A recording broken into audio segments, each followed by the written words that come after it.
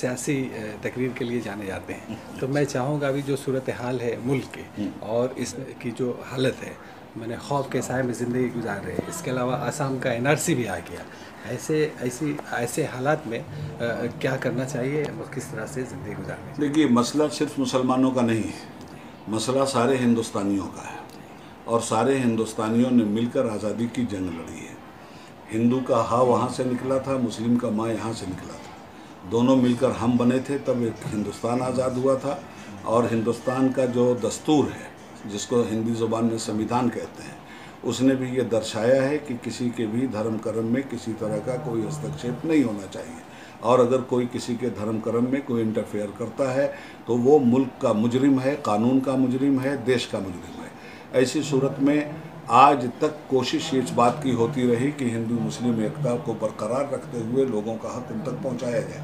مگر دو ہزار چودہ سے لے کر آج تک جو گورنمنٹ سینٹر میں موجود ہے، اس گورنمنٹ نے سب سے بڑا حملہ صرف مسلمانوں پہ نہیں کیا ہے، اس سمویدھان پہ حملہ کیا ہے جس سمویدھان نے مسلمانوں کے اور ہندوستانیوں کے حقوق کے تحفظ کی گارنٹی دی ہے۔ اس لیے اس سے برا دور نہیں آ سکتا۔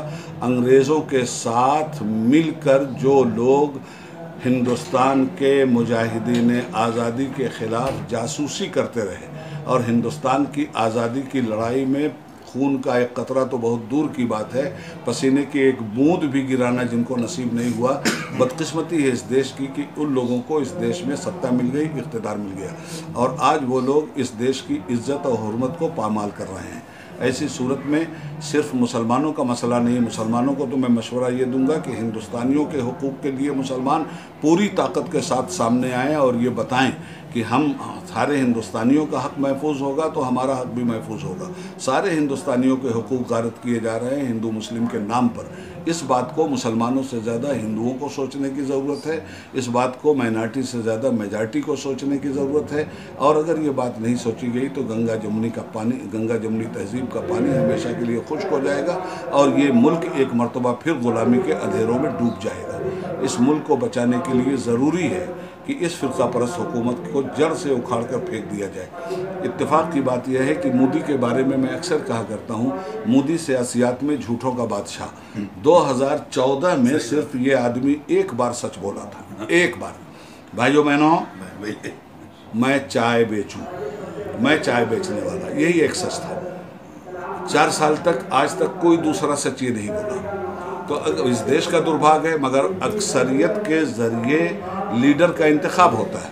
ٹھیک ہے، دیش کے لوگوں نے بنا لیا، مگر ایسا پرائم منسٹر کبھی اس دیش کو ایسا دیش کو نہیں ملا۔ تو میں کہنا چاہتا ہوں کہ اگر اتنے سطحی ہی لوگوں کو پرائم منسٹر بنانا تھا دیش واسیوں کو، تو کیا گٹکا بیچنے والے مر گئے تھے؟ صرف چائے بیچنے والا دکھلائی دیا تھا، ٹھیلا پہ کیلا بیچنے والا مر گیا تھا۔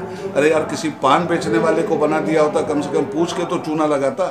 اس آدمی نے تو پورے دیش کو بلا پوچھے ہوئے چونا لگا دیا۔ ہے اس لیے اس دیش کی قسمت پھنس گئی ہے۔ صرف مسلمانوں کی قسمت نہیں پھنسی ہے۔ دیش کی قسمت کو بچانے کے لیے اور سوتنترتا کی حفاظت کرنے کے لیے ہندو مسلم دونوں کو سامنے آنا ہوگا تاکہ لوگ جیو اور جینے دو پہ عمل کریں اور خوشحالی کے ساتھ زندگی گزاریں۔